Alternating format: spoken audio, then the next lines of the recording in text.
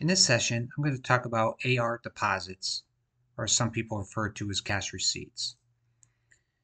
In Business Central, you can use either the cash receipts journal or the deposits. I prefer the deposits. Let's take a look. If I type in and search for deposits, I'm going to simply go to New, choose my batch if I have multiple batches.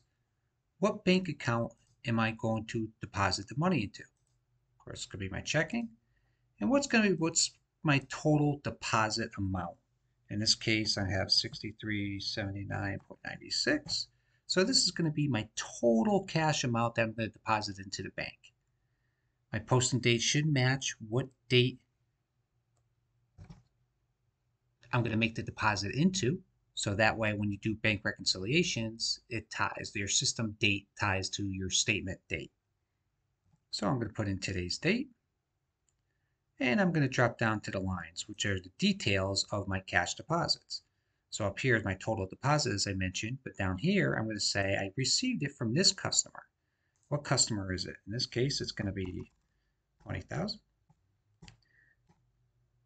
Document date, again, defaults to up here same date here. I could change this if you want to actually track the, the date of the check that someone wrote the date of the check on. You could actually write that same check in here. Otherwise, it defaults to the document date above.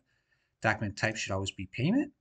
What's the check number? What's the payment reference number, right? That's check number. And in this case, I received 2063.04.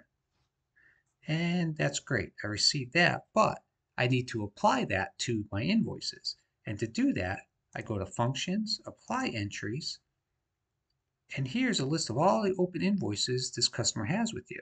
So what I want to do is I want to decide which invoice do I want to apply to. So I'm going to choose this one.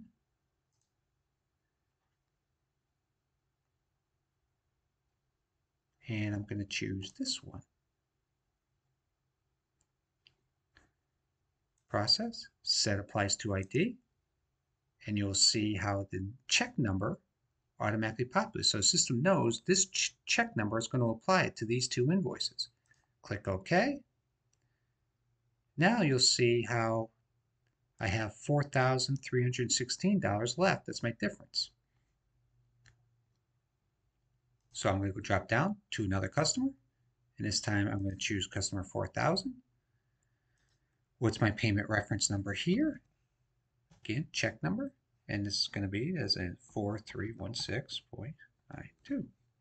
And again, how do I apply it? We go to Functions, Apply Entries, and in this case, it's the one invoice. Great. Still got to go to Process, Set Applies to ID, click OK. Now my difference is zero.